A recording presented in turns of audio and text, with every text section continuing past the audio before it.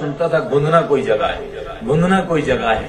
आज पहली मरतबा देखा गुंदना क्या है? अल्लाह ताला गुंदना साहब को भी हम सब की तरफ़ से जजाय खैर अता फरमाए। अच्छी दुआएँ की होंगी। नेक आदमी थे।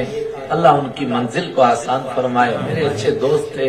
वो चले गए। मैं भी जाने वाला हूँ। अल्लाह हम सबको वहाँ महशर में मुलाकात नसीब फरमाए। वाखिर दावाना अनिल